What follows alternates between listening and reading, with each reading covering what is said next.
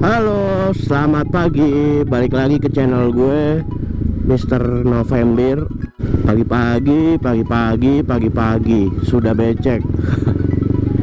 ya, jadi hari ini gue mau ngebahas sih alasan kenapa gue mau bikin channel motovlog dan kenapa gue baru bikin sekarang. Jadi kalian nontonnya harus sampai habis ya. Jangan setengah-setengah. Nanti kalau setengah-setengah tuh biasanya kayak di video gue yang sebelumnya yang kayak kenapa gue beli R25 banyak apa ya banyak yang salah persepsi gitu.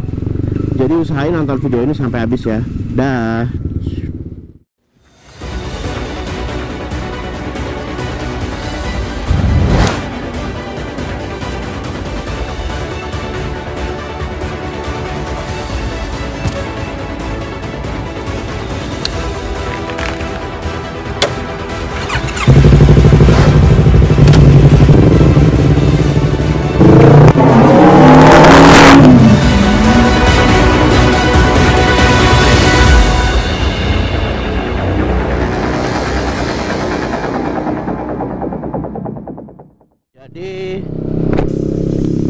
jadi sedikit flashback aja sih. Sebenarnya gue main action cam itu udah dari 2015 pertengahan lah pertengahan 2015 waktu itu gue masih pakai New Fiction sama action camnya Xiaomi. Wah zaman itu kalau gue pakai action cam tuh kayak bingung gitu orang-orang. Wah ini apaan sih? Orang pakai kamera di di helmnya. Itu apaan ya gitu. Jadi memang tahun 2015 itu ya masih belum pada tahu sih apa itu GoPro apa itu Xiaomi Yi apa itu ya merek-merek action cam lainnya lah gitu. Jadi kayak masih asing gitu di jalanan. Terus BSD gokil zaman itu. Sama sekali belum ada ini sih belum ada patok-patok. Mungkin kalian kalau suka main ke BSD di Ice Foresta. Zaman dulu tuh jalannya tuh lurus banget nggak ada tanggul nggak ada patok-patok gitu. Dan ice nya belum bisa digunain sih baru ice hall itu loh yang ice exhibition. Kayak belum resmi dibuka lah intinya. Satpamnya nggak rese kayak sekarang. Kalau dulu satpamnya ngebaur justru. Misalnya kita lagi ada mau test speed di situ speeding.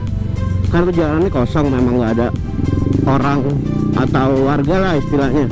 Cuma ada ya pedagang satpam sama bikers bikers saja di situ. Gitu. Nah mulailah tuh 2015 akhir mulai diperketat gara-gara mulai rame anak motornya. BSD sekarang udah udah nggak bisa sih dipakai lagi buat speeding. Malam-malam aja sekarang ada satpam ya.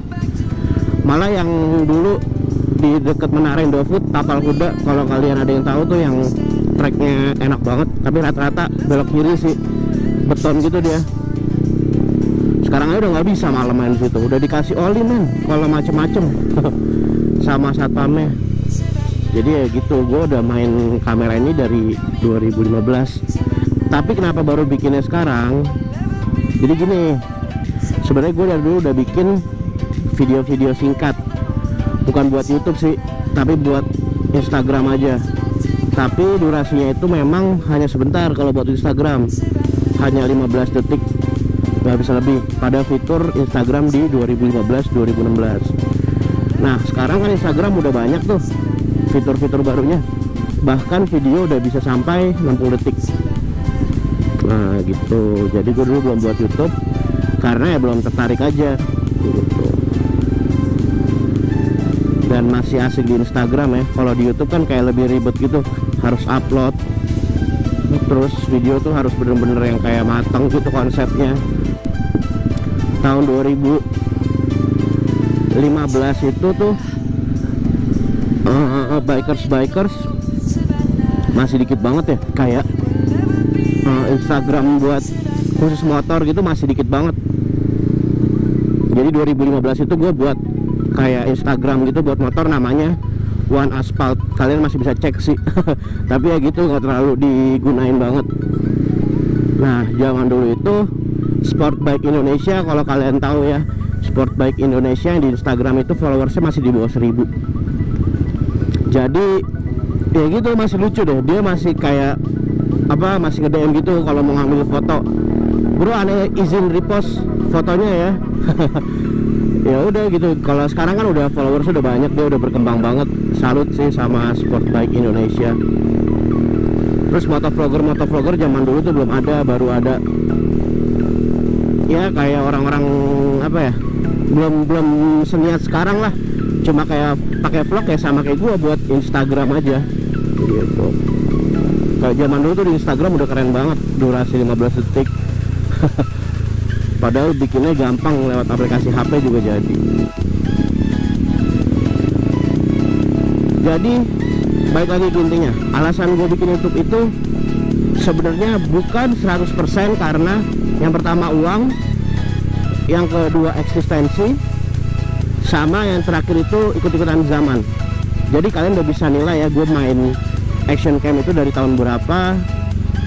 Ya maksudnya bukannya so so kayak udah ah udah anak lama nih bukan maksudnya biar kalian bisa ngejawab sendiri aja uh, apa namanya caption gue ini yang ada di thumbnail gua gitu.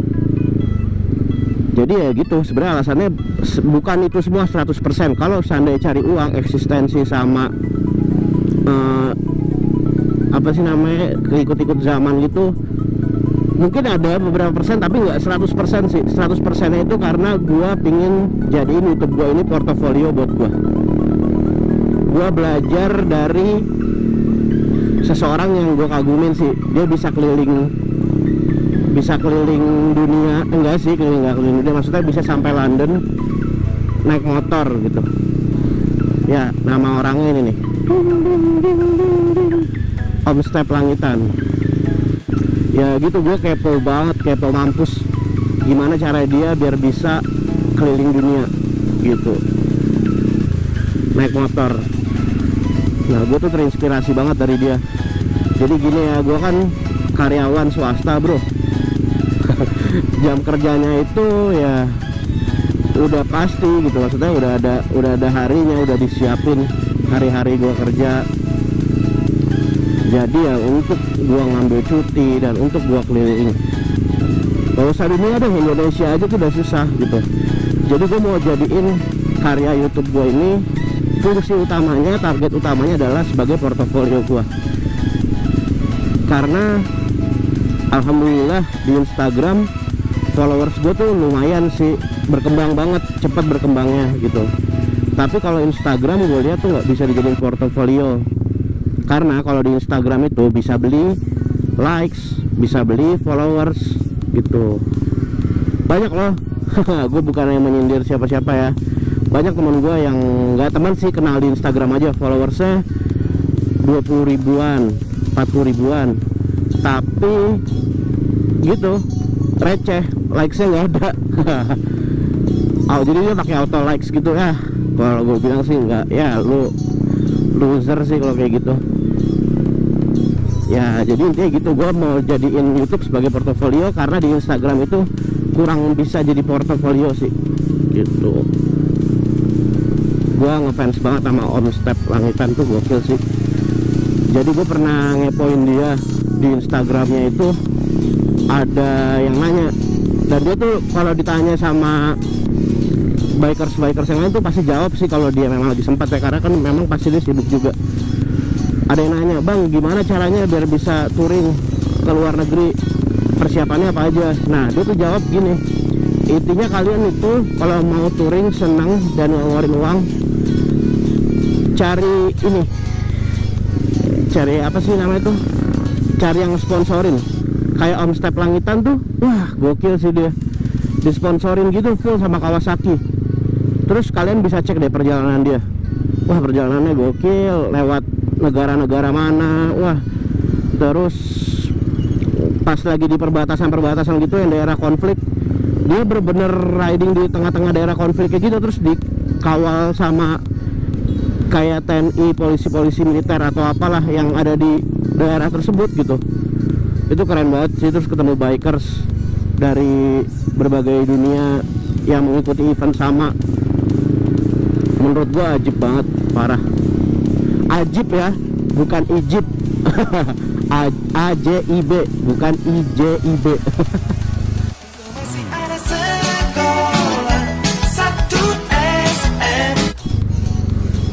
Terus alasannya ya gitu gua sebenarnya orangnya suka bergaul. Jadi ya dengan naik motor ini gue bisa punya banyak teman sih. Kayak gua tuh udah berapa kali ketemu temen gua di jalan udah pernah ketemu temen gua salah satunya polisi. Namanya ini nih.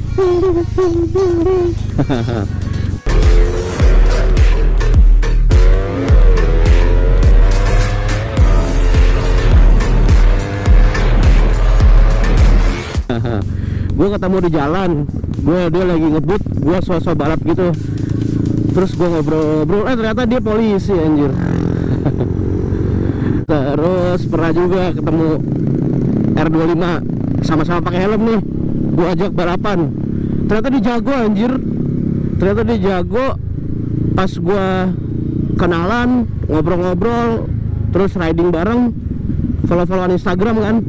Eh ternyata dia artis anjir. Film apa? Film anak langit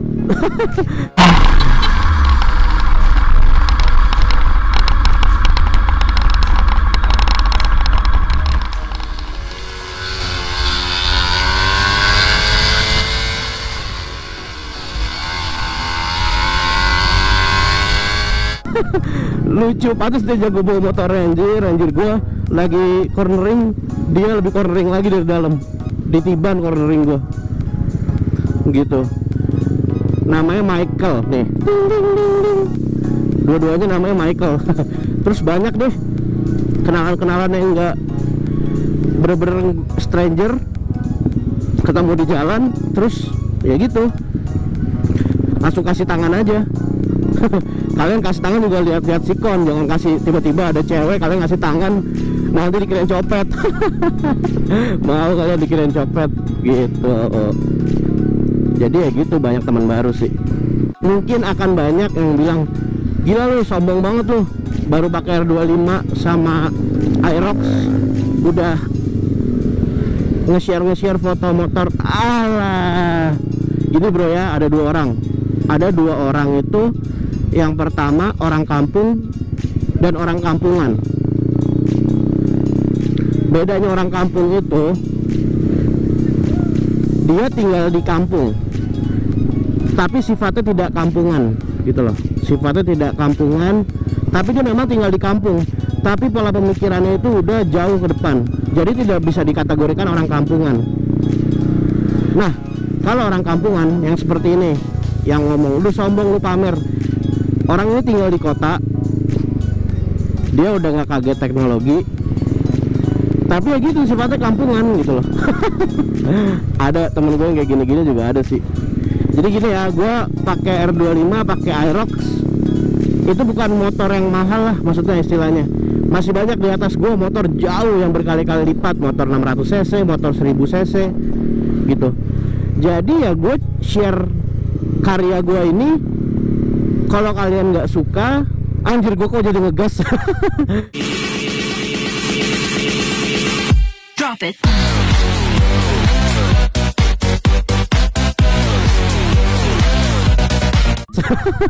kalau kalian nggak suka ya nggak apa-apa feel free untuk di unsubscribe kok gitu jadi gue ngebangun ini ngebangun channel ini bukan channel yang bisa disukain sama semua orang bisa disukain semua kalangan. Mungkin kalau kalian nggak suka motoran ya udah kalian ini aja eh, subscribe channel apa tuh channel tutorial make up. Nah kalian kan suka nyinyir tuh. Buat kalian yang bikin-bikin gemes tuh yang suka nyinyir. Nah download aja tutorial make up. Watch this front flip.